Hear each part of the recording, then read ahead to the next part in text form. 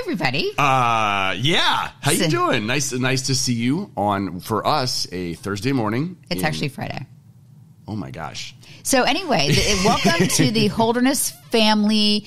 We never found a name for this, but it's over now. So Amazing Race special recap season 33. podcast legs ten and eleven. Yes, so leg 10 in the finale, we are going to cover what happened in those final legs, including some conversations we've had we've had with some friends, tell you some of the stuff you didn't see behind the scenes. Um, if you noticed, speaking of behind the scenes, we are in a hotel room night right now. We had the honor and privilege of watching these two legs with most of the cast of season 33. Yeah, we had a, a bunch of them come here to Fort Lauderdale. Thanks to Lulu and Lala, the twins. If you remember them, they set up this terrific event for us, and then uh, they also made it so that we could have a safe place to watch the finale with our like close family and friends. And for us, we brought our children, of course, and we'll show you kind of a little bit of an interaction that we had with them. They're home now, by the way. We're not like they're not in the closet No. back there or anything. Uh, and then also a lot of the members of the team uh, for the company that we own who like kept our company going while we were gone for two months.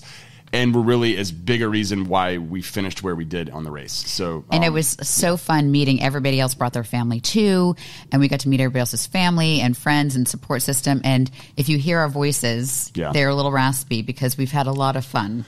And the reason why Right. we're recording this a day late is because we we really enjoyed ourselves. we did well. We enjoyed ourselves, and then um, then we ha- we did do uh, several interviews yesterday. But then most of our voice uh, losing was the fact that Kim and Kayla, you know from the race, um, and Lulu Lala. and but yeah, but mostly them. They decided in the middle of a dinner we were having that we needed to go to a dive karaoke bar. So.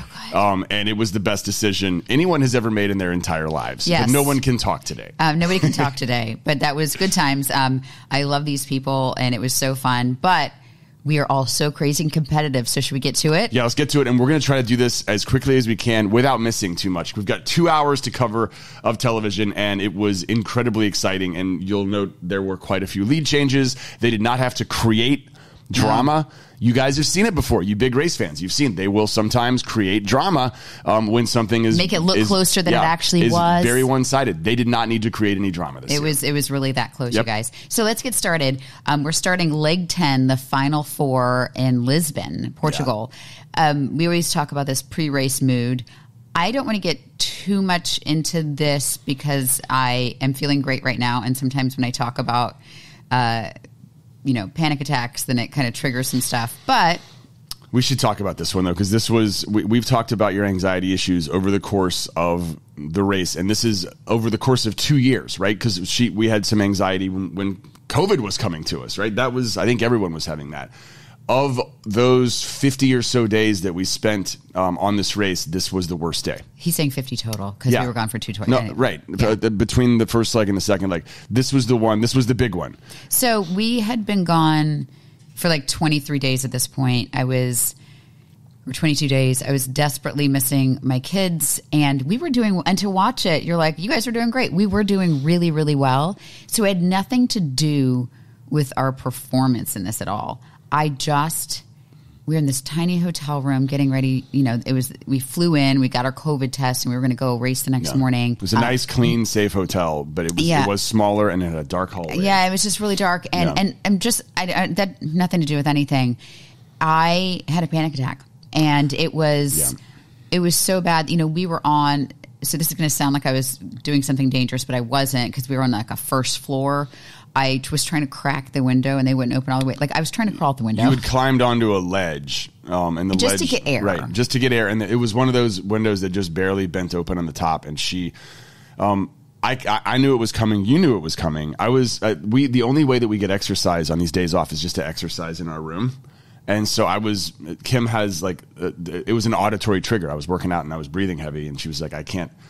You It's like, you have to stop. I And- can't take this breathing. So I stopped. Anxiety knows where to find you no matter where you are. It, it's not necessarily when the cameras are rolling during the race where you have to jump off a bridge or where they have created this like really crazy course. I think that you, you like for people who struggle with this, it happens in the downtimes before and sometimes even after, right? I'll just say this. I had asked basically the producers if I could leave. I asked if I could go home. I was like, I'm done.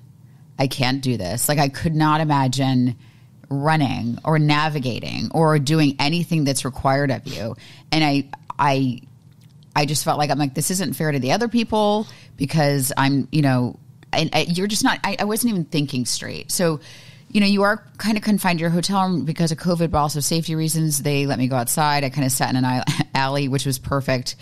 I calmed down for like an hour. I just sat outside and I made the decision with Penn, like, no, I need to stick. I need to see it through with zero expectations. I'm like, let's just get this over with. I don't even care right now. I just get get me out of here, which is the worst, worst way to start something. Like it is the and like it is not a great mental space to start a race uh, in which you there's four people and no room for error. So Raquel and Kayla take off, and I, we were standing there with Arun and Natalia. We ripped the clue, and you see me. I'm I am running. I'm I'm, I'm not fast, but like I'm far. I'm like I'm like I every single step felt like such effort. And we get in the car. I'm like, okay, did that part. Now, okay, next part. And then I opened the map and I saw the city we needed to go to, which was a bit of a drive. It was. Didn't you feel like a little bit of relief once you ripped the clue? I even feel that way as somebody who just like deals with the anticipation in between these legs and with like knowing that this was going to be. And we talked about it. This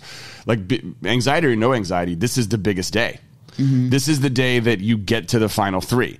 Um, it's it's the it's the day you don't want to lose because if you get through this day, you are going to touch that mat and whatever the final location is, and you won't be eliminated. You'll finish somewhere in the top three. So, um, I mean, I felt some relief. It was a bit of a drive.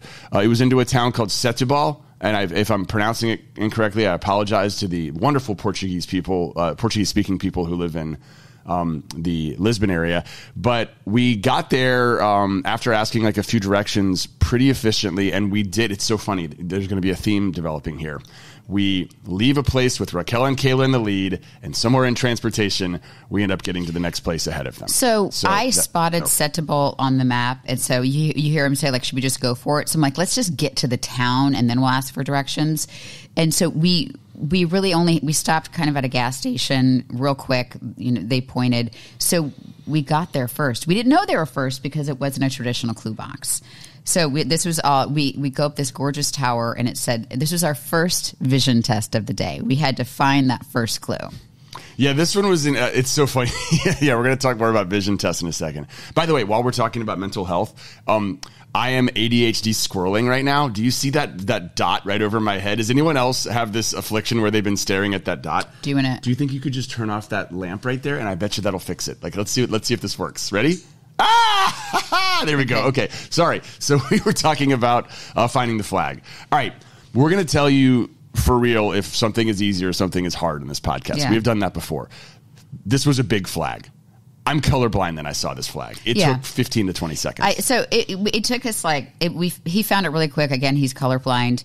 I think you hear Natalia say in the in the um, in the show. It from standing up there, it's easy to find. On the ground, that was a little tricky. Right. So the challenge was actually not finding the flag up there. It was they didn't give you any directions. You just see the flag and you've got to find a way to get there. Kim had great advice. She said, follow this the coastline and you'll get there. Well, follow the coastline, but if you go to the yellow buildings, yeah, like, oh yeah. I was like, it's on this side of the white buildings. Go to the yellow buildings. So for us, we found it very easily, but you see how it's pretty tricky, and there there were it was all one way road. So yeah. Ryan and Dusty passed it, so they couldn't really do it. They had to go several blocks to make a U turn, so that was an right. issue. Uh, Ryan and Dusty actually made up a ton of ground, ton of time. but in doing so, like the the colorful language of Dusty oh rears oh its head once again. Uh, and so, like, what were some of the things he, he says, said? He called he called all of us lambs. Yes. He's like, we're lions and we're gonna pick off these lambs. And no. he referred to us as not a lamb, but a cake buffalo. So they caught up to Raquel and Kayla and now to the cake buffalo. And so I was like, what's a cake buffalo? So Maybe it's like a big it.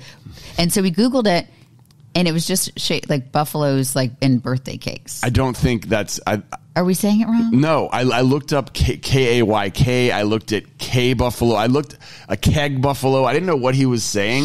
I think Dusty was just imagining like a birthday cake and a prize, and then he mixed it in his brain with something that he would want to shoot and eat in the Serengeti, I, which is a buffalo. So that would like maybe cake is like a prize person? I, I, we we should have asked him. So I have to say, Uh, no, I did ask him. He's on he's on the plane. I'm like waiting for him to text me Oh. back. If he does text me back, we'll let you know what a cake buffalo is. I have to say, in watching um, the Amazing Race with a group, a huge group of people, I was actually very worried because I don't. Uh, we, we don't really we never had watch parties or anything. We're just kind of watching it by ourselves the whole time. I don't like it when uh, yeah so I, I was nervous about watching with a group. It was so much fun. it was so much fun because it was like a sporting event because anytime anybody did anything well or was like crap talking the other it was like it was like it was like at a sporting event. And dusty He's right in front of us. he was right and my son was so obsessed with him. So every time dusty stood up and was like woo! And- Dusty was like a professional wrestler on Wednesday night. I oh mean, my gosh was, like- he was he dusty kept the energy up. Okay there were a lot of winding roads um, but we got we got ahead of raquel and kayla and and they it still had to park and they still had to climb their way to the top. So we had probably a seven or eight minute lead there um, and then we get to we find it we get to the first clue and it's a roadblock. We were told there'd be two roadblocks today. We had a little bit of a lead. I, I explained my mood. I felt like I should do it first. I should do the first roadblock to get that out of the way. I, for me, Yeah. the roadblocks are very nerve wracking. it ended up being a good decision. if you've been listening to this, you know how I've studied the race. Um, even before being cast on the show, we've watched every season. You know, when we were signed up, I mean, we had we have Google Docs. We have so at, on my couch. What I would have done is rip open the clue. See, I had to, you know, identify the. It was I think there was probably twelve boats, eight to twelve boats, and then four were Portuguese explorers, and four were just Portugal. You know, you know, One of them was Cristiano Ronaldo. just people from Portugal. And so, um, but they were all names that you kind of you would have recognized. Um, they were also the Portuguese spelling of the names, not the American. that's important. Okay, so they were the Portuguese spelling, which is very different. So we were in this kind of marina area, and you know, in, there's cameras around. It's an amazing race. It draws attention. So there were probably seven or eight people just like milling around, like, "What are you crazy Americans doing?" As a sane, just clear thinking individual, I would have gotten the clue, run over because he can't help me in a roadblock. I have to do it myself. I would have run over to one of the, like the fishermen standing there and asked, point point to the one that's a Portuguese explorer because you can do that, and got it in the boat. Race brain. Go, go, go, go, go. anxiety brain and my anxiety brain which was like let's just freaking do this um so I run down the dock and you hear me going like I'm doing this wrong. Like I I even even knew I was saying it out loud like this is not the best way to do it. But anxiety brain was like I don't even care. So I jumped in and I took it it was just really in a great amazing race strategy. You just jump in the prettiest one. Not a good strategy. Right. Well, hang on. So I I know you said you don't think it was a good strategy, and when we left, you were um you were kind of like dogging on yourself. Right? I just guessed for like the prettiest boat. I didn't you know didn't know what I was doing.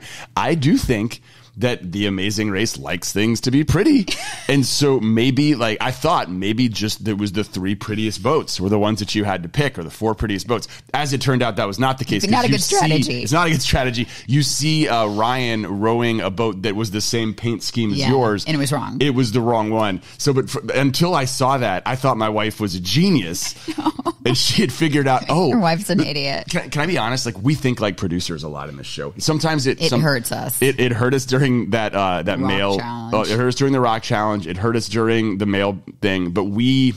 Um, we think like if we see cameras somewhere, that's where we think it's going to go to be. If you know, if there's someone who looks like an actor, that's probably who the person's going to be. Just because we'd watched shows and seen how that happens, we study the race, we produce, we know what it takes to put on a show. But they find ways to mess with you. I really Bad strategy. yeah, I, I I hope we get a chance at some point to talk to the producers on the Amazing Race and find out how many different ways they can bleep with us during a day because they're quite good at it, and it does make for entertainment. Anyway, it, it was one of those things where I got in the boat and I knew I, w- I backed out right. I'm like, oh, I know I'm facing the wrong way. They didn't show me. I actually rode very quickly. And even Arun said, Arun told me later, he's like, I knew we were screwed. I saw saw how fast you were rowing. I actually did row the boat very well, quickly. I mean, compared to Arun, oh, Arun, bless. Arun, I love that guy. I, I love him. He has definitely never rowed a boat before. Well, and- and- it's it's okay. We'll talk about that in a second. And I so I've never rowed a rowboat like that. Yeah. I've done a canoe and a kayak, but I've never done a rowboat like that.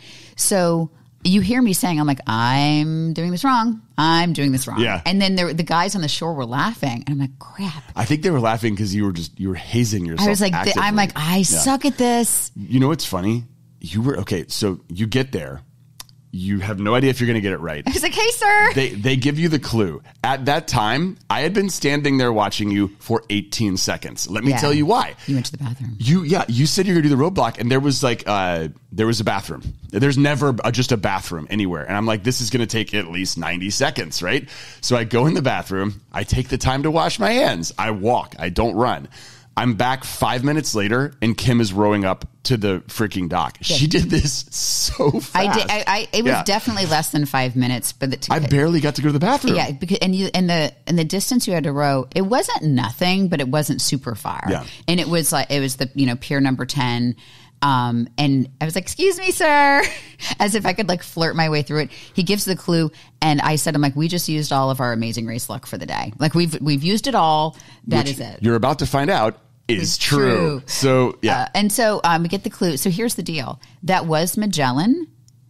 It was the Portuguese. That was it was how and, and how you how Magellan is spelled his, his name in Portuguese. Right. And so I um so I was but I didn't I didn't know that. I mean I paid attention in school, but we learned about Magellan. you didn't know that was Magellan. I didn't it, know it was just a bunch so of different So I words. will yeah. say, I will, I will say, as much as I was like, I'm an idiot, I just guessed. I, this is 100% honest because I'd been navigating there and I was looking at the little street. I had seen that name on a street, so I had seen Ferdinand Magellan, but like I had seen that spelling of a name on a street. So that is why I got into the boat. I saw. it. I'm like, oh, that's a name I just saw.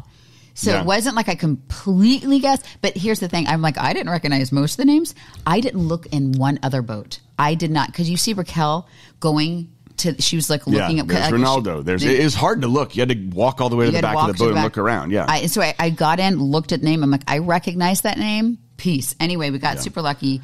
Um, yeah. I'm, I'm like let's let's let's skip ahead to the next route info, Yeah, right, so which we- was a team challenge. Route info was when you do something together and there's a challenge where you're both working on it. we were painting under pressure. Yeah, sardine cans onto a door. Yeah. So we had to find this cute little market area that was adorable. Mm-hmm. We picked up a can and we literally, we were like, what is the easiest one? And again, race brain plus anxiety brain, we picked what probably the most intricate one. I, there were four or five of them, and they were all pretty equal until I, I man, we were looking at the race the other night, and the one that Kayla and Raquel picked, they picked the right one. Oh, 100%. It was just a few colors.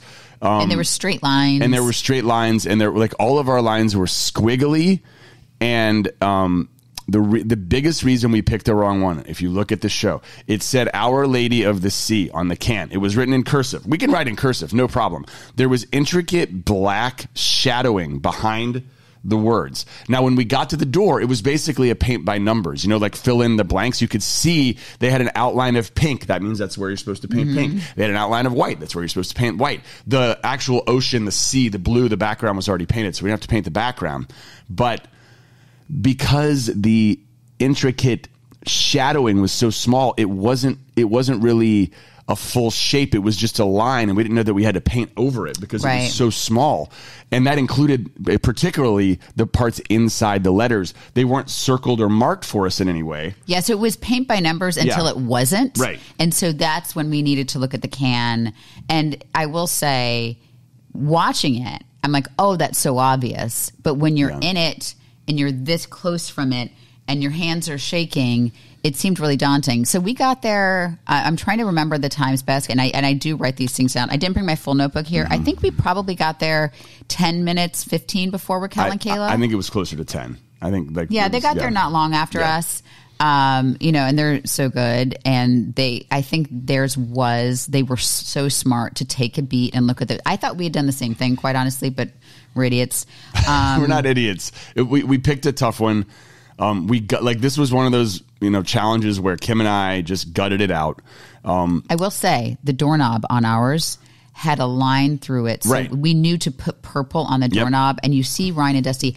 If we had picked that can, We may have been s- still I don't know at that it. I don't Yeah. know that we would have known to paint a freaking doorknob. No, maybe. Like I think we would have asked about it after a while. That I mean, they're not gonna tell you. Their doorknob was in the middle of their door. So the So- doorknob was in the middle of the door, and it just had that black over that whole section. Yeah. I ours had a very clear line down our doorknob, doorknob, so we knew to paint part of it. That's and that made it easier for us. I think after one or two tries, like you and I, we got to a point where we were really trying to to to figure stuff out. Um, and we were they didn't show a lot of it. We we did a lot of like detail fill-ins when it turned out that's not what we needed. We Yeah. we just needed to fill in the black stuff in the middle of the letters. And Um, I, I stand by the fact that I would not have painted somebody's doorknob because that was a beautiful alleyway with this beautiful music. I would have painted the doorknob. I would not have. That's a gorgeous door. I would not have ruined the doorknob. We'd already ruined the door. That's true. But they could. Yeah, that's true. Anyway, That um, they probably got that doorknob at whatever the Portuguese version of Home Depot is. It's they're not going to let crazy. they're not going to let us mess with a valuable door. Yeah, That's true. So Raquel and Kayla get theirs. They leave. I think probably 10 minutes later, we got ours. Yep. We got our clue. Um, and we were, this day was all about just make, we of course wanted to win. Yeah. Of course wanted to win, but it was all about finding the time. Don't lose. Don't lose. 75% chance. You guys have heard me talk about math this entire time if you've been listening. Every day I wake up and I think what is what are the statistical chances that an average performance will advance us to the next round? In the first leg, it's 91%. In the second leg, it's 90%. In the third leg, it's 89%. It's always incredibly high numbers. And if you just perform average, you have a great chance of making it through. So this leg, it's 75%. Getting a little tighter, but still, that's Yeah. a three out of four chance that if you perform average and don't screw up, you're going to make it to the next round. So we were aiming. This is the day that I was like, let's aim for average. But because I, we were really good at the navigation part. So Raquel and Kayla lose their map. And I think there's some stuff online like, why didn't you go back for it? I talked to her. She's like, the definition of lost is they didn't know where they left it. So they didn't know if they left it at the pier. They didn't know if they left it at the door. They didn't, and, and it's again, it's a little bit of a run. So I, I think they did the wise thing is they stopped to buy one. Um, I think they had to stop two places to, before they found one. And by the way, you could not have gotten there without a map. No, I so it was a bit of a drive, and again, Yeah. I think we should have Google searched this, but our brains are fuzzy. It was it was a decent drive, maybe an hour. Everything felt like at least an hour. Anytime we went from one place to the next. And the Amazing Race made that decision to do this on this um, particular season to find more remote places, which, by the way, such a win for us. Like Yeah, such so beautiful, beautiful. remote spots. Well, so again, this is another one of those uh, times where I, I took a beat. We weren't great at taking a beat off, and found it was the the name of the city and the lighthouse. It was a it was a whole map. It was an, a map of the entire side of Portugal. So Yeah. it was not a detailed map, but on the teeny tiny, you see Sesimbra. you see Sesimbra. I was like, well, let's just try that. And I, so our our strategy was like, let's especially on a long drive, let's get to the city and then ask the direction. We didn't even have to do We that. didn't have to even we didn't even have to ask for directions because it was it's a tourist It's a landmark. It's a landmark. So we got there we got there without any struggle, and then. I just assumed Raquel and Kayla would be there, but we count the clues in the clue box. I'm like, dude, we're first. if you're keeping track at home, Raquel and Kayla start in the lead. We pass Raquel and Kayla on the way to the first clue box and stayed at the lead uh, after the first roadblock. Raquel and Kayla pass us at the first challenge. We pass Raquel and Kayla en route. We kept passing Raquel and Kayla en route, and they kept passing us during the challenges. You know. So here we are with the lead, and I'm like, okay, let's just buck this trend. I don't want Raquel, Raquel and Kayla to pass us again in a challenge. We find out what the challenge is, and we're screwed. The final roadblock is a vision test. Well, it, it was. thank you for saying that. It was you had to count these columns at a monastery. Yeah, so we just for people maybe who haven't seen it. So this beautiful uh, church cathedral, and there's it's just this endless on both sides these gorgeous arches. Mm-hmm. Um, and it again on TV, you're like, oh, that's fine. There in real life, it's shadowy on one side, it's light on the other. That Yeah. shadowy side, you even everybody except for Kayla struggled with this because Yeah. it was really hard to see. I, by the way, um, cameras have zoom lenses. Eyes do so not. So if you watch this from your couch and you're like, oh, I can see the end of that. Cameras have zoom lenses. Eh, eh. I, I was getting so mad looking at it because it shows me going like, and like laying down on my stomach. And he was It- like in the sniper position. well, I was trying to find a way to keep my like my head still. I I must have counted it twenty times and never came up with the same answer because the last twenty columns on each side was straight up guessing. Also, they were different lengths. The two sides of the monastery. Yeah, so one side was slightly longer because I was like, "Why are you guessing odd numbers?" And That's why. there was that. That's why because the right side I think was a little longer. But then, um, so I will say that this is one of the many times where we felt our age because I was. You see me because I'm always taking notes, and, and I was like, I was actually sitting there drawing pictures of i'll find the picture but i was like I, we have collectively as a family the worst vision i have worse vision than he does one of my great fears was that we were going to have to do that clue looking thing i think it was at the season what finale was it where you, they had to jump out of they had to spot a clue from the helicopter and, and jump um, Oh, uh, well, they've they've had several of well, those. but, but we, at night. So my Yeah. my fear was we'd have to do a night leg. We'd already done a night leg in London, but one where we'd have to see far away at night. I have astigmatism so bad I can't see anything. If we would still be in Portugal if I had to do this challenge. So you hear Penn say, "I'm just going to turn this into a running challenge." It was a quarter mile there to guess and a quarter mile back. So it's a half mile every time you have to guess. And he he guessed eight eight times, and I, each time I went up from uh, I, I went what I thought was the best guess, which for me was 110. I went up, down, up, down, up, down, and so I got to 106 on the eighth try. And so that's four miles because it was 400 yards to get to the monk and back. And this was my picture that I was. I'm the worst artist. Oh yeah, yeah. Oh, we're gonna talk more about this in a bit. Yeah, but I was I was sitting there drawing a picture, and then I put I would put the name on the back of it, um, Yeah. and then I would put and then you know 106, um, the in the name of it, where it was, what Yeah. leg, what position we were Right. on the back. We will get back to that. I will say, like, pictures. yeah, we're going to get to those pictures because they come into play big time at the end of this. But um, we do want to try to get into the finale as quickly as possible. Kayla passed us after getting it on the first try. She has young eyes and glasses. Um, I- Bless her heart. I got it on the next try after her, so we were not far behind. We. Then Kayla and Raquel ran the wrong way to the lighthouse. They went down the wrong path. So when Kim and I were leaving, we saw them, and we had a shot at catching them if we were fast. Fast. Um, if we were Ryan and Dusty, maybe you could have caught them on your own.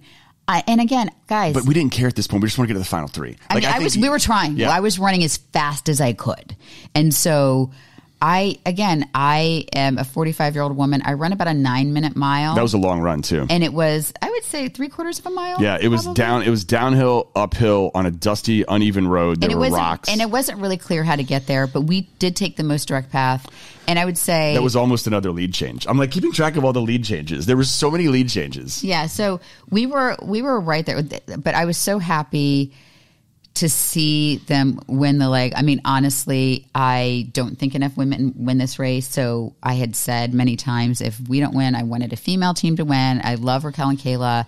I, of course, we want to win. My competitive spirit, I want to win. But I was so happy for them. But we were right there. But Penn's like, we can catch him. We can cut him off. I was, and I was running as fast as I could. But I was like, dude, they're freaking fast. I'm not going to do this. So we get second. We're in the top three, and at that point, like there was that sigh of relief. Like We were relieved. Uh, I, I mean, uh, it it was a, another beautiful stop, another great place to kind of enjoy like a zero humidity, seventy degree sunny day near the. Wasn't there another? There was another body of water. They kept putting us by these beautiful cliffs so and bodies of waters, and so you know, there's always that. Re- there's a relief, like we're going to see the finish line. We're going to Yeah. see the finish line, and then B just taking a moment once you get to the finish line to take in the scenery, and I could see on my wife, I could see the stress oozing out of her face when we I could I'm telling you I could see it like and I know and it, you oozed Well, relief I- well you've been through a Uh, lot uh, yeah, and like so I'd say about. that was for me. That was the hardest day on the race emotionally, Uh-huh. and I that was the hardest day like harder than than the uh, rocks, Rocks, harder, harder than, than- the, that's I think that's a surprising take coming Yeah, so I think it was harder than be, just because uh, everything we had to do, it was fine. I think it was like appropriately hard. It was fine. I think anything on this race, when you're sleep deprived and you're panicking, anything seems hard. Tying your shoes seems hard. Um, did you have like a moment where you were thinking about what would have happened if you had that roadblock Um, I try not to do that dance too many times Yeah. because I think you know, you know, in the very beginning, there was a moment when we were out of balance on the roadblocks because I'd started my period, and he had to do two in a row. Um, but when you look back at the season, it ended up that we were fine. It, it ended up that every roadblock we had done, we were the right person for it. So I that was definitely the case on this day. Like Yeah. it's, I would say for the rowing as well, I could see myself just because I'm not messing that up. because it would have taken me to make every guess to do a ha- to count and then do a half mile run. It would have taken me five to six minutes for every guess, and it probably would have taken me ten times uh, to do that. Um, I think we had enough of a lead because poor Ryan and Dusty with that flipping doorknob.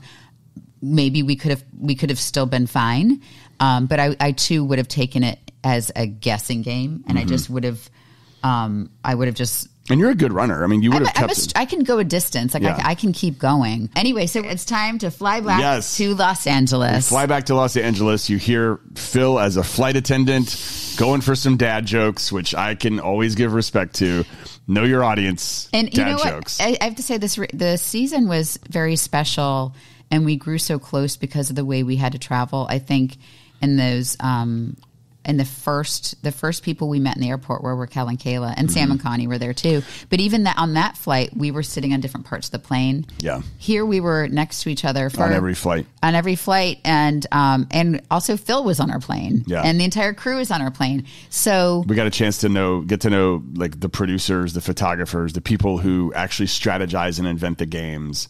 Um, and also, I mean, we were we were flying back with Dusty, Ryan, Cayla, and Raquel, which were the same people that we got onto a trolley car with on the way to the top of that mountain uh, in Switzerland at the beginning of the restart of the race. And we sat like there and talked to each other, like, wouldn't that be cool if this was the final three? yeah when we we made it into that bus to take up you know the, Yeah, the first scene the of the first restart. scene of the restart and we're like Yeah. we're like wouldn't it be cool if we were all the top three And here we Uh, are. and here we are so and I have to say in watching previous seasons I know there's a, been a lot more animosity between teams and I think part of that is created with yields and U-turns and things like that so I, I understand how that happens but I could not imagine going through that with people I didn't love and respect. That was one of our biggest fears when we went on the race. We like didn't want to get sucked into that kind of stuff. So, but once you get to the final three, you know that that's not going to happen because the final three, everyone wants to knock everybody else out, and everyone wants the everyone else to fail. Like that's that's where it becomes a true race. There's Yeah. no, there's never a U turn in the final three, right? Right. There's no alliances in the final three. the pre-race mood for the the final leg.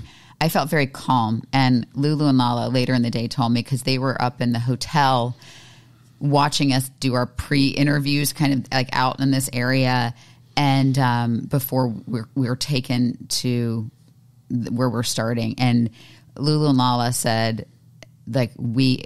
She's like, you guys just seemed so calm. Like they were 11 stories up and they looked down, like, we should seem so calm. I'm like, you know, I felt really calm. And that was the first time I had felt calmness the entire time. Wow. And I felt calm-ish. Um, the like the biggest issue was we were still on European time. So the day of the finale, we woke up at about four four thirty a.m. Remember that, hon? Mm-hmm. And the race didn't start till noon. It. Uh, I mean, we we took out we took off from the hotel. You know, not at four a.m. Relatively early in the morning to kind of set up and get ready to go. But we had been awake for eight hours by the time the race started Yeah. uh, that day. And I do believe that even though you were calm and you felt calm and I felt calm, that when they said go Oh. on that final leg brain. with that final clue, that if uh, no one took the time to think about the clue, we we read the clue, but no one, none of us we- it- thought about that it- it- first I, clue. I could have just been reading, you know, the alphabet at that point because I Yeah. read it out loud for you, hear me reading it out loud or you're reading it out you loud. hear me say slow down, and then I was like, because everybody started running, and that is where, uh, honestly, when we had these notes and these sort of rules for ourselves, it was like slow down, read the clue. Don't do this. Slow down, read the clue. You rip open the envelope. You read that there are three locked clue boxes on the towers of the Westin in downtown LA. So our job was to find a find a clue box and then spot the combination going up, and, and down. down. And so that going up and down could have meant a ton of things, and everyone thought it meant going up and down the stairs. So we were, Right? yeah. So we ripped. So you see me going up and down. So as we're running, so we had to make it to the thirty second floor. So we had to go down and then Over. across, Yeah. and then to get to the thirty second floor. So it was a little bit of a maze, and I think they show us running, and we all tried to go in different directions Yeah. because there's only one per tower.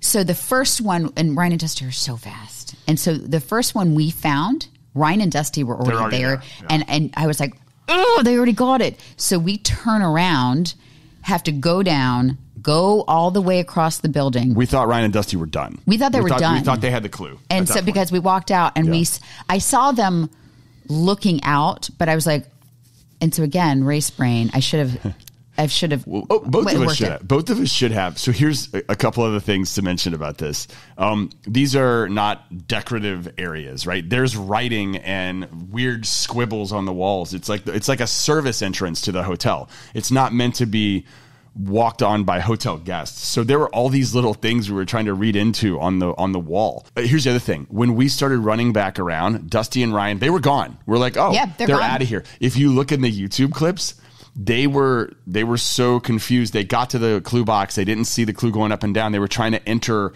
uh, you know, some sort of code from the race. Like what's a four uh, number thing that happened from So- the race? They had then they got in the elevator and they went down to the lobby. Well, we all had these race blinders on. Of on. course, yeah. I will say that. So finally, we find. So we the first time I was like, let's just find a clue box. So we find a clue box, and and that you see, and it, after we were there for about twenty seconds, when I was like, you know, eh, oh, up and down elevator. So we spotted it. Um, you see us. So in. So I thought we got it first, but Raquel and Cayla on the show actually got it. We're probably the same We, time. we we both thought they got it first, but we didn't realize that we got it first until we got to the car. So that's why we thought we got out first. and there were three cars, and we had the first car. So we did get to the car first. We got to the car first. Yeah. So um, I Another was- lead change. Another lead change. So we got directions before we left the hotel. Where they got a little tripped up because I think they got outside first. They went outside to ask for directions, and this is downtown LA. At the time, there weren't a lot of people walking around for whatever reason. Uh, they said so. We actually got to the car first, so we thought we had a more significant lead, and then we were pulling up to uh, and it was another route info to the square which i should remember the name of to see and we pulled up we saw the clues we saw everything there but then we had to find legal parking which was down we found a parking lot which was down a little bit yeah, and the- we could have illegally parked anywhere. anywhere but i was like we're, let's not that. get a penalty Yeah, on the do that. final leg of the amazing race Can't do it. so Raquel and Cayla, we see we are making our way there, and then we spot them. We're like, "Oh crap, here they are!" So we open our clue, um, and here's the challenge: one person had to put on this weird, like Mexican wrestling mat mask on, so completely blindfolded. You couldn't see anything. They had to do like a test to make sure he couldn't see anything. I uh, and then grab a little smashy stick, and there's all these rows of pinatas. They gave us three specific pinatas that was listed on a chalkboard that we had to find to smash open. The person had to grab the clue, and those three clues gave the direct or the address of our next location. very quickly, the person who had the wrestling mask on could not see anything that was going on over there, did not know anything about the pictures. I would say we were 20 or 30 feet away from each other. I'm already not the best of hearing.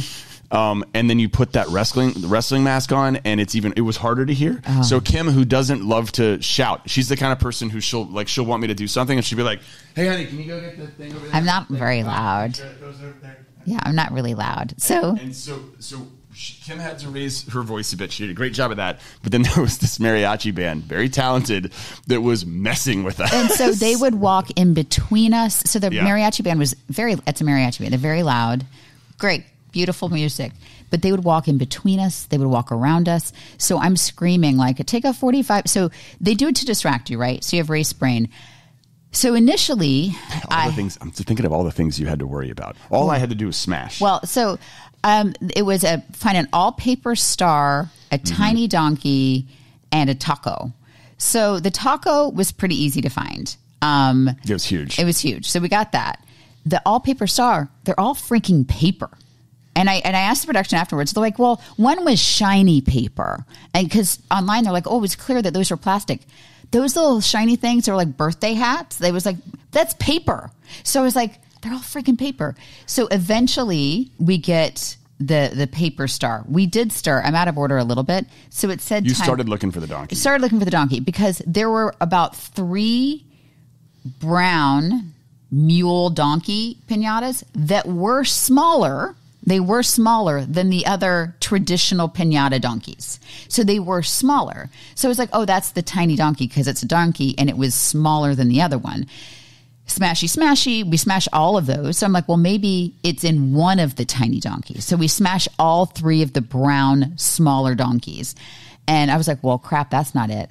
And then I spot the star finally, or the taco finally spot the star, the freaking tiny donkey. And you couldn't, you hear, hear me say, like, they're all freaking tiny donkeys because they were all at that point we smashed all the smaller donkeys because there were about four different sized donkeys and i smashed all the smaller ones and i'm like oh they're all bleeping tiny donkeys that tiny donkey we were never going to find unless so penn's strategy was like you hear him saying i'm just going to smash everything wa- wasn't that the point where you were just trying to move around and I was so. yeah. Oh, and here was another rule: I couldn't leave this one specific area on. The, there was kind of this um, gazebo area, and I couldn't leave this area of the gazebo. So you, I was on my stomach. I walked to the edge of where I could go, and I'm looking. I and I had before he started smashing stuff. I was like, let me find, you know, let Sure. me find first. So at, at this point, it's the third one. Raquel and Cayla had left. They yeah, they made it look closer than I think it was. I think that 10 minutes. I think I had I had was I got one clue and they had three. They it, yeah Maybe. It- Yeah. it- and it was I'm going to say it was more than ten minutes. Prob- you're probably right. I think it was probably 15 minutes. Yeah. So they left. And I think at that point, and I'm surprised they didn't put it in the show. I'm like, sorry, babe. Second place in the Amazing Race is still really freaking good. I'm like, second place is really good. And I was already like, okay, I wasn't giving up. Yeah. I wasn't giving up, but I was like, I just wanted to smash. I was like, well, this is how we go down, and here we go. And so I was trying to stay calm, and so at that point, he goes, "Can I just start smashing him?" I was like, "You know what? Just I'm I'm still looking. He's smashing. He smashes enough." That it exposes, and, and you see the tiny donkeys in between these huge ones. It was really- yeah. That I was. He had taken out an entire. So there was an entire string, but without that entire string of pinatas gone, Right. I was never going to find the And tiny donkey. I think that you even talked to someone afterwards or a producer or someone who said, "Oh yeah, you drew a tough lot on that particular one because there were two very wide pinatas in between this small pinata, and if you were standing, you know, off to the side of it, you could Easy see it. spot. But if it's if it was a straight line from your face, it was it was really like a see it. blind spot. Listen, Raquel and Cayla figured it out very quickly. I They did four pinatas. I, think, they knocked down four, and we locked, knocked down probably twenty four. But without him knocking them all down, I was never gonna see that tiny one. So our strategy of just knocking the crap out of them actually worked. It was a lot of. And Work. I want to give you some credit really quickly. I know that you were like so Kim. I was beating myself up Kim the gets whole time. Kim gets frustrated, and so do I. When you don't like when you get passed by someone, and they did it again. They passed us on another one. Raquel and Cayla keep passing us. I don't like this theme.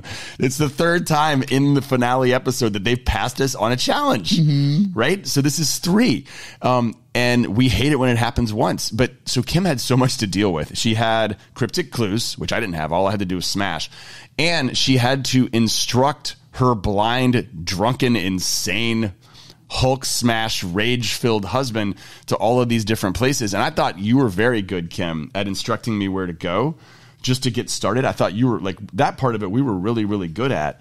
Um, and and you kept your cool once we figured it out and you you you gave very clear instructions. You raised your voice. let's move on. We get the clues. We it was um, the address to this um, you know sound design studio uh, in Hollywood.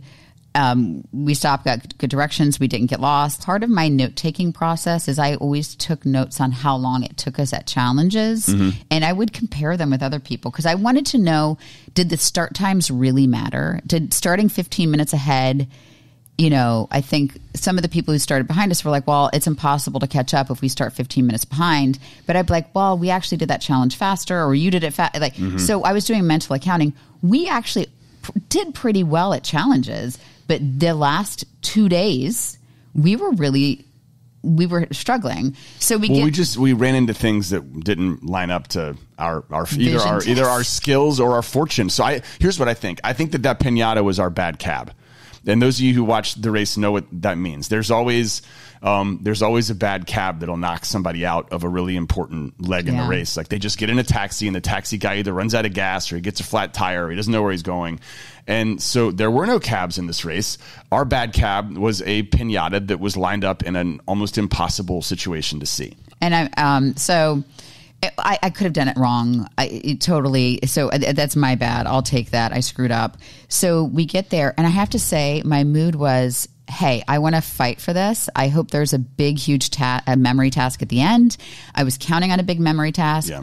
So I was like, "Let's just get through this as soon as possible." But enjoy. Let's enjoy Yeah. ourselves. If this is this is our last day ever on the Amazing Race, let's Yeah. enjoy ourselves. This was a great challenge for us for several reasons. It was a For- Foley challenge. Yeah, it was a Foley challenge. For one of the reasons it was a great challenge is uh, you're, you're looking at all of these past scenes, iconic scenes from the Amazing Race, and you're on a sound stage and you're creating the sound effects with like a soggy sponge or a bunch of hay or you know a, a, a, a two inflatable balloons that you smash together. And we knew all of these scenes. We'd seen them so many times. There was the the Oktoberfest one with the beers and the pies. There was the ox that got broken, which was like a super famous scene. There was um, the inflatable uh, wrestling, the bulls. ru- yeah, running of the bulls challenge, and then of course there was the watermelon shot, which I've watched for my own obsessive reasons a hundred times because I always wanted to ask like someone at the Amazing Race if they ever entertained the thought of what would happen if that watermelon didn't break. oh, I know. Well, let's okay. Let's- Um, okay. But it did break, and thank goodness, because it just led to like a little bit of a bruise and a broken nose. But but we knew the timing of all these things. We knew the timing of all these things just because we were, you know, obsessed about that. So we had never done Foley before. I think you hear Penn saying like he, you know, he does editing. He has a very musical background, so he actually really excelled at this. do a lot of lip syncing. He does a lot of lip syncing, but I I'm fascinated by it as a production. I would say because I was aware of it, of course that was helpful, but it doesn't. Once you're in it and you're in race brain, um, it that I don't know if that was necessarily an advantage for us, but we asked him to do one, and I was like, let's just try it just to see what we don't know. He started talking, which is so funny. You can't talk, and then What do you mean you don't want to hear in the movie? Hey, honey, I'm coming over here. Like in the middle. so you know he um he you know we both missed a sound like there was you have to crinkle the gloves which you know i didn't see everybody do the glove crinkle anyway i think there were no, no, that was I noticed that when we watched it. I don't think Raquel and Cayla did the glove crinkle, which I know they weren't going to like. They told us that was a fail and we didn't do the glove. Who knows who how this whole thing knows works? who knows anyway because i was watching I'm like did everybody figure that out um so it took us six tries i think it took them That eight or right. nine Right. And we also, I mean, we made up time not only because it was six tries, but we went very shortly in between each one. We were of the belief that we had all the information in our head of what we needed. Like, we didn't need to get too many demonstrations. We just needed to get it right. And so the only way to get it right was practice, just practice, keep doing. we practice, just we kept rolling through it. So you see us, we get out at the same time, and we see Raquel and Cayla, and I was like, "Holy crap, we're still in this!" Um, and you see us asking directions. So they're leaving. They already got directions, and then you see us ask for directions from the same guy. His phone died. So when this, we got this question on Twitter. just to be clear, he like he told us where to go. Um, we had directions on the clue, so he he told us the exact same thing that they told Raquel and Cayla, but they did have a map to look at on how to get there. So we wanted for, not only for him to tell us, but to look at the map as well. So we walked up to look at the map, and as we did it, Like Raquel and Cayla, map. yeah, Raquel and Cayla are pulling out. The guy's phone dies. We're not super confident in in what he's telling Yeah, us. because he's like, just Yeah. go the 110 to this, this. And I'm like, I don't know uh, how. And on the bottom of the clue, it even said like, take the 110 to this exit or whatever. But I was like, I don't know how to get to the 110. I, it was it the 110. I don't even It know. was the 110. And I, like, I don't know how to get there. And just follow, telling a guy on this leg of the race for him to just to say, take left, you know, take left and just just follow the signs. I'm like, I need to know how far we're going. So we chose, we're like, let's take the extra four minutes and get good directions. So we ran across the street and we got extra directions, which is why you see us show up to the final Right. thing like seven or eight minutes No, later. We were about 10 minutes later, according to Raquel and Kaylee. You never know how this works, but half of it was stopping and asking for directions. Five or six minutes there. The other half of it, and we'll just say everyone hit traffic, and I think we all had the same slowdown there. It was like an hour sitting in traffic. Imagine being this close to a million dollars and everything just stops mm-hmm. on the mm-hmm. road. And you know, you're looking around like, is there a detour? I mean, I wish I had my Waze and it could show me kind of which way to go. And then when we got there, um, they there was like a northwest, southwest entrance, whatever it was. And I think if we had just gone straight, we would have gotten there in maybe a minute. But instead, we drove all the way around. It wasn't a terrible detour, but I bet it was five minutes added on to find the parking. So five minutes of asking for directions, and then five minutes plus five minutes finding parking that wasn't in the right spot equals ten minutes behind. And what you will see was a pretty potentially pretty quick challenge. That could have been our race. So the yeah. final memory challenge. We were on a tennis court and they had partitions up. We knew Raquel and Cayla were there because we can hear faults, um, but we couldn't see them and there are little clues on the wall like you, you, you took this the rest of the way you ate this um, and on the surface, you look at that, you're like, oh, that seems pretty easy. Here's where it got complicated. For every answer, like he greeted you at the pit stop or whatever, there would be four things that were slightly off. So the so, slightly, so like the, very slightly. So the dolmades was something like you made sixty of these. Was I think that, or there were, or it just said sixty, or you made sixty of these. The issue was there were about four pictures of her, and the plate was slightly off. So the dolmades would be this direction as opposed to line up this way. So they had them stacked. So if you just threw it up in a panic, you would you wouldn't realize that they were lined up this way. You hear me saying like we got this. Here's why. This is I'm this I'm this is the part I'm most excited about of any of the podcasts that we have done because we are premiering these. I had a big notebook and you know, we if you're watching this race, you watch this race, you know that there's traditionally, I think the best finales have a great memory, you know, task at the end. Um, they, we were kind of looking for what it was. We thought maybe there'd be numbers because we had to go up 8,000 feet. We had to make 60 of these. But at the pit stop, and it wasn't even necessarily aired. I think there were some extra clips, and it and he didn't make a big deal about it. But my friend Phil would be like, Isn't this a beautiful view? Take a look at that view. And so I was like, He wants us to look at something, but he also probably wants us to look away from something. So I was like, at, and when we were in Lugano, is when I was like, he's asking us to look somewhere. So I'm like, it's going to be the images. So I went back through our race and I went through all my notes and I started drawing like this. In, in, I'm terrible artist. That's I, you keep saying but, it's bad, but the the bowler it's not it's not a bad drawing. No, and I, honey, just kind of, and then I would okay. write uh, notes on the back of it, and eventually, as we got closer to this lake, we ripped them out, and in our hotel room because there's nothing to do, I would place them, or he would place them in out of order, and we would try to line them up in order. Um, this was, you know, the, these were the little goat medallions that were on it was the on the guys uh, in, in um in St. Um, St. Gallen, Altstätten. Yeah. These his his little medallions had goats on them. This was you know the little hat he wore. this was the view from the in Lugano. There was like a fountain. I was like, okay, if we spot a fountain, that's it. Um, let we me. all know what that is. Oh my god, that's bungee jumping. Like you should show a picture of the stick figure of you. Uh, this is um oh you know just silly things. So this is the greeter in uh, that in Corsica. I was like, he was wearing a hat. He it was like that. So again, um, I drew the towers. I have to find the Napoleon one. Sorry, guys. Oh, this. like down to the hat. I'm like, this is what Napoleon's hat looked like. It had two little things. So we would sit there and study pictures. Mm-hmm. We were really, really confident going in. I was like, we got. I, I was so confident.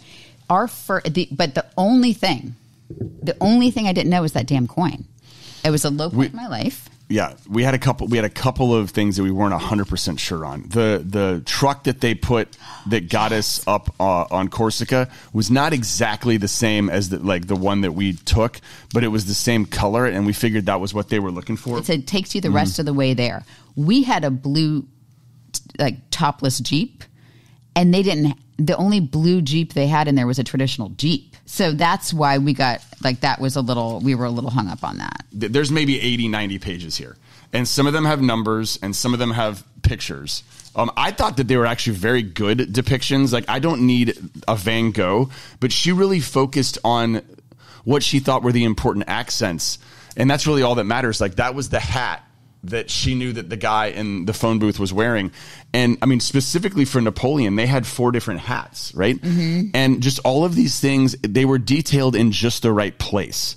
They didn't have to be perfect, but the way that your brain was working, you remembered certain things and it was freaky how much they lined up. Like when we looked at the guy at the pit stop that greeted us, there was some details, uh, whether it was a hat or maybe the lining on his shirt. Can't remember what it was that we looked at, and I'm like, "Holy crap!" Kim drew that on one of these pieces yeah, of paper. I think, and so I yeah, so I think that, and our first guess was one off because the only thing I didn't look at, I got the coin, and the first I, I turned the coin over when I got the rock, and I immediately showed it to Dusty and Arun, right? And then I was like, "Get me the f out of here!" So I didn't study that. Well, isn't it funny that nobody got the coin right? If you if you look at all like Dusty yeah. and you look at you and you look at uh, um, Raquel, everyone struggled with the coin. That was the great equalizer when it came down to this race. But then, so here's what I was doing while you were doing this. Kim had done everything she could and more to prepare us and to give us a crazy amount of confidence for the majority of these. But as I've been saying since the first podcast, the amazing race is the world's biggest math problem. Mm-hmm. You saw the way that the Beekman boys won, right? They turned that final challenge into a math problem. We we did that. So what we did was we took our 100% and we put them up there. Right? Mm-hmm. The things that we were 100% sure about. We were 100% sure about all but 3. And here's why. The boat, we knew kind of what it looked like, but you weren't 100% sure what the name was because it was a Portuguese spelling of so it. I knew it was a red and blue boat because right. I have a drawing of a red and blue boat, but I'm like, maybe they're looking for the name. And yeah. so that is why. So we put the boat up right the uh-huh. first time, but I was like, oh, but maybe they're looking for the name and not the color right. of the boat. But we were down to two boats. Right. So we were 50 50 on that boat. So let's, we're, we're doing permutations here, right? This is going to be fun. Um, we were down, we were down to 50% permutations on the truck. They weren't going to tell us which one was right. One of them looked more like it, and one of them was the right color. So we we had to do both of those. So we did. We went through all of the permutations of those while also flipping out the coin, and the coin was down to 4 mm-hmm. right? So so without knowing what was right, we we basically stuck with for a few minutes the the boat that we were like 60% sure about and the truck we were 70% sure about and we let it ride with those.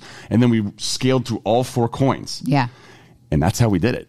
And i was and it was one of those things where there was um season 31 the season finale when christine jen like they, i was pulling for them as a female team and she was stuck on this puzzle task and i heard her say at one time that she had it really closely in the beginning, but the clue said like it had to fit in perfectly, and there was one of the wings didn't fit in the, the, the way they accepted the answer. The wing fit in kind of wonky. I, I'm really unsure about that, but she so that Jeep was throwing me off because ours was blue and they didn't mm-hmm. have a blue Jeep that looked like that in the final clue. And so that's what I'm like, well, if that's right, then this boat could, that's why I was so sure of everything going in. And on the surface, it looks like an easy memory challenge, but as you saw with Raquel and Cayla, the more you start messing with it, the worse it gets. So I have to say, we got, and we have to watch it back. I think it took us like six or seven faults? Uh, who knows? It could have been 15 because it was so quick. You could always yeah. say check, fault, check, fault, check, fault. I mean, if, if you look through the total number of permutations for 11 of those things with, with three or four possibilities for each one, the possibilities are in the millions, maybe even in the billions. So you've got to have some knowledge to figure it out. Um, um, but and, yeah. we could have done as many as we wanted. Um, and then I, we got it when it comes down to it I think they told us at the end it was like seven minutes or something like that. It was fast. Like it, it was fast. It, that was that was the longest seven minutes of my life.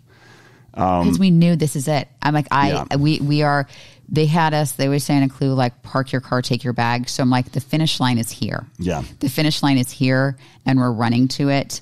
Um, and I was a little sad as a super fan we didn't get the go go go clue because there's always like a it's it's always like a go go. Go. So I wanted like the go go go. I, like, see, I I hear you, but I like I love the way they did it. First of all, I love tennis. It's like it's my favorite sport. I'm wearing a pickleball shirt right now, which is almost tennis. Um, tennis adjacent. And uh, but like the, just you go from getting the challenge right to, to the finish line. It's so, like right there. Wasn't that cool? She says game set match run through the tunnel and all of a sudden both of our voices got really high. So I want you guys to Google Howard Dean, who was a politician uh, for those kids out there who don't remember it, who was a front runner for the Democratic nomination, and he gave a speech, and for some reason his Q rating like dropped, and his ratings dropped after a very shrill yeah, and that was me.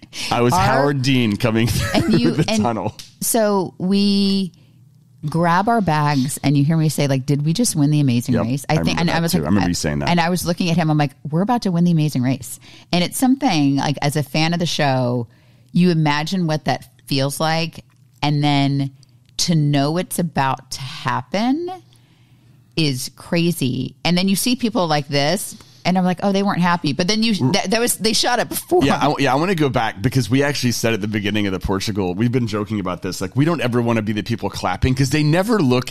They're always like, oh yeah, yeah, mhm, yeah, sure.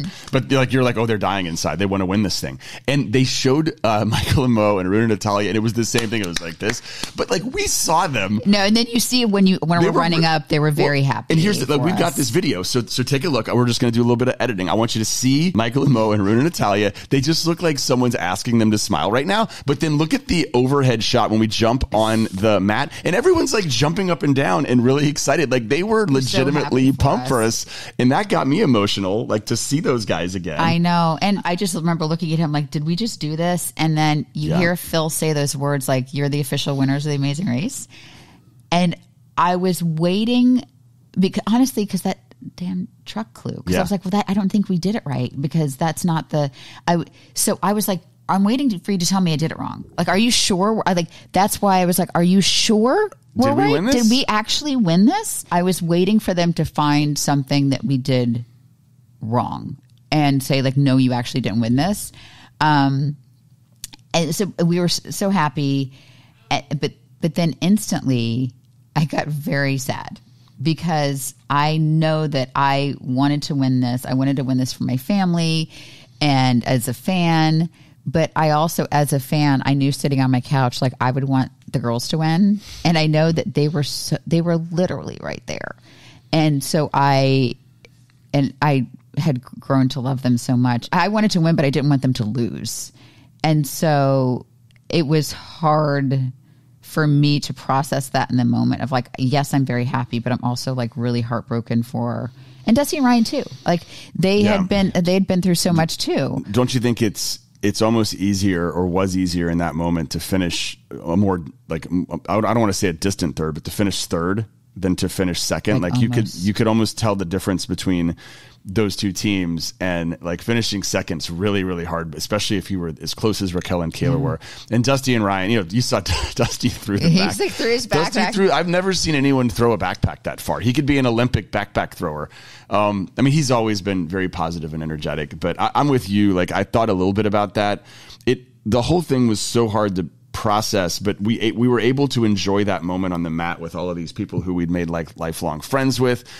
We were able to like kind of bring it in and shake hands not only with the cast but also all of the members of production who had gotten us like through this whole thing. And then and then we really had to like you and I had a moment in the airport where we were just kind of like hey we won this. It's great. And then we kind of have to go into hiding mm-hmm. and not show any of your emotion or in, any of your excitement for several months until right now. It was probably six o'clock by the time five six o'clock by the time everything was everybody's there wrapped up and um and they gave us the option to stay the night and fly out first thing in the morning or take the red eye and I kind of wish we'd stay the night to like go celebrate with everybody, but I was so desperate to see my kids. We I'm we okay went we we went straight from the finish line Yeah. to the airport and uh, in the in the, in the same clothes, and we took the red eye. And we got home by 6 a.m. and we took our kids to school because they both had tests that day. I was going to keep them home from school, but they both had tests that day. And then, but we were sitting in the airport, like literally from the finish line. They put us in a van, take us to the airport. We're in the same clothes. Yeah. And, and we're in the airport bar. Um, first of all, you know, just being able to navigate by yourself through an airport for after 24 days of not. Um, and we got a glass of wine. I'm like, we just won the amazing race and we can't say anything. I know It was the weirdest. glass weirdest of wine thing. was really good by Oh the way. Oh my gosh, it went down real good. Um, and I think that um, I, there's we're gonna. I we're going to keep this version of the podcast going for a little bit because we want to talk to Raquel and Cayla and Dusty and Ryan, and even we haven't talked to Lulu and Lala yet. Maybe like Phil, the producers, like we'd love to, you know, do some more of this content. Um, we've been like, it's very flattering that people want to interview us, and everybody's asking like, what are you going to do with a million dollars? Um, so a million dollars is life changing. Uh, Uncle Sam gets the biggest chunk of it. we are you heard us say we're going to save for our kids college and that's where it's like a generational change because, because they can go to school without debt. they can go to school without debt Yeah. and um my i went to a state school in state school so um but i had two jobs in college and my parents helped me with what they could um but it was it was a struggle to to go through college like that and the fact that they're going to have a choice because I didn't have a choice of where I could go based on money. The fact that they're going to have a choice of where they could go um, is it's that's a that's going to affect our family for generations. So that is not lost on me. Plus, we do have plans to share um, uh, about thirty percent of this of, of what we take. uh, Of thirty percent of this, we have decided to share, and so we um, are going to talk about that. So we our life isn't going to look any different. Um, we're not buying a new car. We're going to get my car fixed. It has a big dent in the door. Um, I ba- no, I backed into. Uh, so if I mean you, you've had some anxiety issues like this last week, just trying to like. I mean, this is a secret that you have to keep in, and it's a wonderful secret, you know, right? But just the the the kind of the time building up to it, and the number of people who are asking you, and like, I'm not the kind of person who likes to lie to people or keep secrets. Um, this has been a lot for me, and I like my ADHD has really reared its ugly head the last couple of weeks, and it's been this has been tough for me. I left a suitcase at the airport at an airport. just at an airport and then I flew to another state. Without an. I got yeah, I got off of the plane and I like I flew the entire time, got off the plane, was looking for my stuff and I was like, "Oh, it never got on the plane on the way out." And then I backed into Kim's car in the driveway. It was right next to me at about one tenth of a mile an hour and uh, left a dent in it. So this is like I'm just gonna say like this part has been tough for me. I like that moment in LA. I'm so glad that we could share it, and it was so great when it happened. But the real relief, I, we finally our kids got to find out. And if you haven't seen the video already, let's put it back up right now. Um, we were uh, at this nightclub watching it on a very large screen, and this is our kids finding out. And just quick spoiler alert kim and i had to go back to our room to watch the end of the race because we weren't looking at the camera we just wanted to see what our kids did so if you if you look at this video um, we were just looking at them and their reaction was priceless. We'll have it forever. And uh, we're we're just so happy that we could share that with them. I- I just can't tell you enough what it meant for these last two days to be here to be with these people that I consider lifelong friends. And like, when would I ever meet radio DJs from New York? Like, when would I ever meet Yeah. a principal from New Jersey? A guy who went to prison for Why? 10 h- How would I? How would my circle of my Yeah. sphere of life ever intersect with somebody like Arun. Arun, who, Who runs a Dunkin' and Donuts in Detroit, Eight Mile, yeah. yeah. So the fact that, um, I mean, I'm going to try not to get emotional. These people, they threw us together, and we started a pandemic together, and it took two years of our lives to do this. I'm I'm thrilled and honored at the result, but it was an absolute privilege to be a part of this. And um, I just I feel very honored to be a part of this community, this Amazing Race family. And I can't say enough about the producers behind the scenes and what they did. It is the Herculean effort to put on a race during a pandemic. I wish they had would allow a behind the scenes documentary because for a lot of the ways it made it really hard to be a racer this season. There was a lot of things that made it a lot harder than our first three legs. Um, but I think producing it, I couldn't even imagine. So there were some funny tweets. Should we show some of those? Sure. Our friend Anne Marie found these for us. Someone says, I still think their YouTube videos are kind of disturbing, but they definitely deserved it. Thank you. um, that's thank you Gregory Allen said, "We quote, we love mom and dad." So it was that was Raquel because they were like, "We should have told them to not give them directions," and they're like, "But they, you could see they battled. Like they still wanted us to do well. They're like, oh, we love mom and dad. Like they called us mom and dad." everyone did um, but, i mean we were we were kind of the older couple Um, somebody said, "Oof! How come the team I went to win the Amazing Race never does? Penn and his wife are so insufferable." That was, but then somebody says, quote, Penn and his wife tells me everything I need to know about you. Yeah, like learn my name before you insult me. Ari says, Kim and Penn remind me of Phil and Claire Dunphy. Oh. That's a compliment, and it's so, true. That is a huge compliment. I like for, for both, right? And it's funny. We watched that show when it first came out, and we looked at each other and we're like, "Are we a little bit like these people in our dynamic?" I don't. I don't know that we were as successful or as like impressive as they were, uh, or as funny as they were, but that we definitely have a similar dynamic. Yeah. Before we stop, I I I, I just want to say, like you were you were the best partner anybody could ask for. You're the best partner. I, I loved being with you. I know you were just mentioning all these people on the race that you got to connect with, and they're great, right? But they are. But like the connection that I was able to have with you when we threw away our cell phones, like I'm sitting here thinking about, by the way, but I'm sitting here thinking about the fact that it's over and we crossed the finish line, and I just started like pit sweating like a mother. So that's why I've been like, look at this. This is me. Why? This just because like I the like taking me back into those like last bits of the race and I, I get nervous every time I think about that final challenge. But you were so like other than being a great partner and just like in the moments in between the race, like us being able to connect and not care about anything but having each other's back was such a gift in our in our relationship that we may never have again until we get our kids off to college um, and can can like reconnect with each other. This was like such a little oasis where we were able to have that moment. And then as a teammate, just all that you did to prepare us for that last moment. Um, I mean, I was talking about how the race, and I still believe the race is a math problem, but you got our probabilities down to such a limited amount because of all the preparation you did with drawing those things. And every night, I know you said that you do this to help kind of soothe your anxiety. You, you mm-hmm. write things down, but I also think that you you studied so hard for the race and you knew to look for these little things for the final challenge. When you said, "Oh, I, I noticed that Phil is looking around at things," and that that made you think it was a visual challenge. Like that was all from your studying and, and commitment that you gave to this race. So, as a partner, I could just kind of be myself because you took care of literally everything else. You're, I think So- you're very kind and generous, but there was literally there was not another person that I could have done this race with. I, am fascinated by the parent-child dynamic, even as a friend. To there's nobody that you quite literally had to talk me off of a ledge at the beginning of this. I mean, I was never going to hurt myself, you guys. It was all about getting air. Like I needed more air, and um, so I am just so thankful I had you. You're the best partner. Um, I really was. No, I'm joking.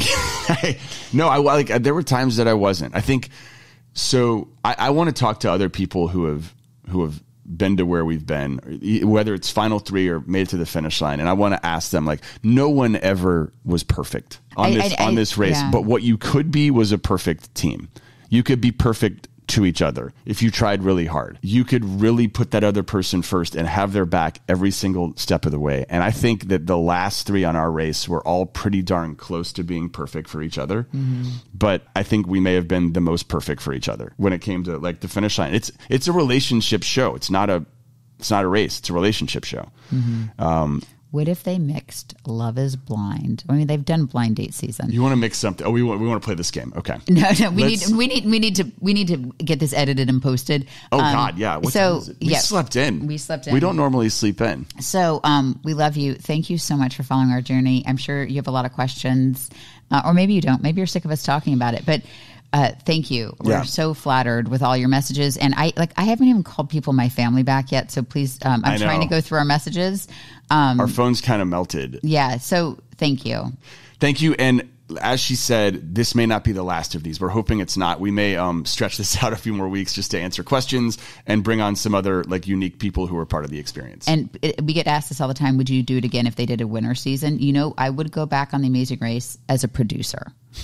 My anxiety cannot take being a racer again.